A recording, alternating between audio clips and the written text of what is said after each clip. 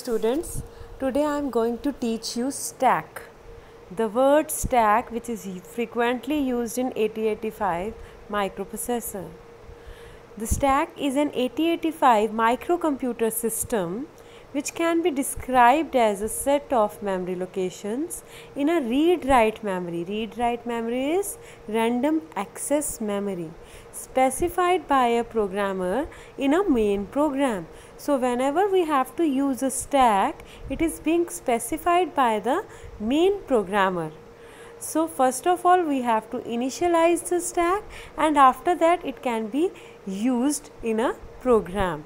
Now what is stack? Stack is basically the set of memory locations which can be used temporarily within the execution of the program. Now we know that for the temporary storage of uh, data we have registers in 8085 we have accumulator B, C, D, E, H and L. These are the general purpose registers which can be used to store the data during the execution of program. But if we fall short of those uh, registers what we do we place the contents of some registers to memory certain prescribed memory locations and after that the registers are free to you free to you can be used for other purposes and when the process of uh, uh, usage of uh, these registers are over then we can retrieve back the data from that set of memory location back to the set of registers. Now for that purpose we require a set of memory location, a prescribed set of memory location and that set of memory location for the temporary storage of data of registers is known as stack. Stack. The uh, last memory location of occupied position is known as stack top. It is also known as top of stack and generally it is abbreviated as TOS. TOS means top of stack. So, it is the last memory location which is occupied by the stack. So, stack is always uh, given by the stack pointer and stack pointer points the last position occupied, occupied in the stack. So, the programmer can store and retrieve back the contents of register pair by using two instruction. One is push and another is pop instruction. When information is written on the stack, it is known as, the operation is known as push. And when the information is retrieved back from the stack, this operation is known as pop. So whenever we, we, we take out the information, it is known as we are popping our information. We, are, we, are, we have to use the instruction pop. Now whenever we are storing the contents of some register to the memory location or stack, we use push instruction. So stack. The word stack is a set of memory locations. Now how, how does it work? It works on the principle of FILO. FILO means F-I-L-O. It means first in, last out. This first in, last out means we are having, uh, take an example, we are having stack of plates here. First, second and third so whenever we have to make a stack of these plates, we will place the first one at the first position, second one above the first and third one above the second. So the latest one is here and the last one is here.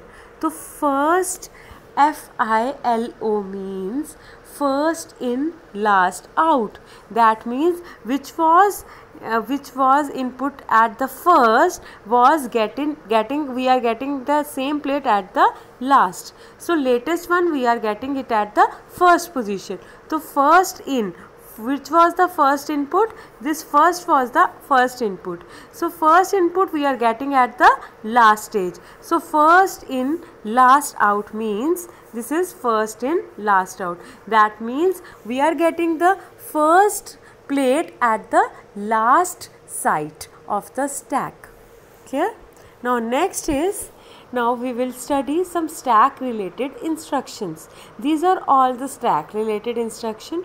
Now LXI SP we have already studied in our instruction set I am repeating them LXI SP comma 16 bit data this instruction is used to initialize the stack now this instruction is used to initialize the stack. How it is being used? Because we can directly immediately give 16 bit address to our stack pointer so it will always gives us the top of stack. This stock stack pointer gives us the top of stack. So it will give the from where our stack is going to take place so SPHL it is again it is uh, used for initializing the stack. It copies the content of HL to the stack pointer. So whatever is in the HL now it is will be in the stack pointer.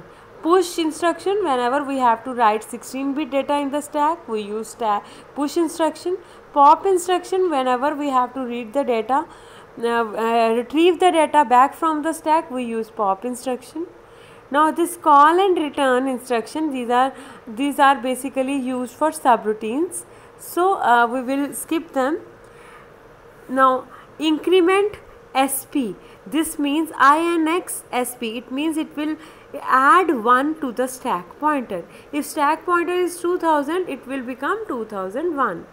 DAD SP it will it, it means it will directly add stack pointer with HL.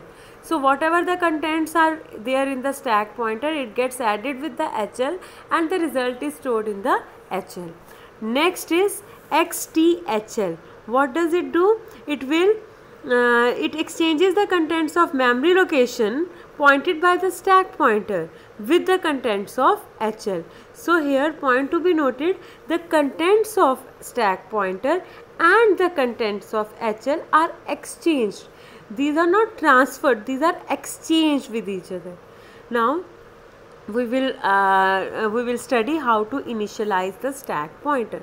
So there are two two ways to study the stack pointer. One is the direct way and another is the indirect way. In the direct way, we will directly use LXI SP. We will directly give, for example, we have to initialize 2040 as our stack position. So what will we do? We will write here LXI SP comma 2040. So what will it become? Our stack will start from 2040. Now next is indirect way in indirect way LXI H comma 16 bit data and SPHL. So this is the indirect way uh, of uh, initializing the stack. Now in indirect way what we are doing we are first of all loading our HL and then from HL we are loading our SP. So with the help of HL register we are loading our stack pointer. So both the techniques are used to initialize the stack pointer. Initializing stack pointer means we are locating from where our stack is going to be used. Now I will explain whenever stack comes you have to explain push and pop in reference to the stack also. So we will explain now what do you mean by push and pop instruction. Now push in, push operation is entirely opposite to pop instruction. So in push operation 16 bit data is stored in the stack. So we are having what we are having we have only initialized our stack. Now what is going to take place whenever push we will write push with the some 16 bit data. Now this 16 bit data get pushed or get stored in our stack. Now how it is stored? It will be stored using these steps. Now there are three steps which are used for stack pointer to be pushed. Now for the initial position, what we are having at the initial position, see this at A initial position, we are having our stack pointer. So stack pointer here, stack pointer is given as 205 45 say. So 2045 is top of stack and we move towards upward. We always decrement by 1 and we will put something which we want to save. Now at the top of the stack we are we are uh, we are having something already. So 2045 means the stack is full till 2045 now how we will uh, store our data more uh, on the 2025 45 by decrementing our stack. So what we will what will we do? We will decrement the stack pointer. Now the stack pointer will become 2044 this is the position of 2044 now 20 under 2044 what will happen? The higher byte of the 16 bit data is copied or stored. Now point to be noted jitne bhi instruction i have told you all the instruction all those instruction which are not related to stack but related to memory i have told you first lower byte is copied then higher byte is copied. But in stack opposite is there First higher byte is stored and then lower byte is stored. Point to be noted. Now we will decrement the stack pointer. Now after decrementing we are having 2044. So add 2044 higher byte is copied. Now add 2043 we will now at the third step we will again decrement the stack so that we are now having the again fresh place to store our lower byte of the data. Now for the lower byte of the data we will decrement the stack pointer. So second time we are decrementing the stack pointer. So new position of the stack pointer is 2043. Now at 2043 our lower byte is copied. Now the new stack pointer position is 2043. For further storing the data we are having 2043. Now again if we push 16 bit more data where it will be placed? It will be placed at 2042 and 2041 and new stack pointer at that time would be would be 2041 now in this way the push instruction takes place. Now push uh, this is being explained same in this. Now in push instruction what is going to take place? Stack pointer is decremented and then higher byte is copied. Now here rp is written now it means if rp is written that means we are referring to some register pair. So b c d e h l are the register pairs. Now we can copy the contents we can store the contents of bc either de or hl in the example uh, here push instruction is being used for DE register pair. Now for DE register pair now uh, we are having D, DES 1050. It means we have to copy this in 1050 and stack is given by 2000. So we will start our stack by 2000. So at 2000 we will not do anything. We will decrement it by 1. It is 1 FFF is the new, new position of the stack. Now we will copy the higher byte from here. Now higher byte is from D. So we will copy from D and lower byte we will copy it at the other stack pointer position that is 1FFE. Now new stack will be 1FFE for further uh, further uh, push or pop instruction. So here the new stack pointer is written as 1FFE instead of 2000. I think now it is clear to all of you.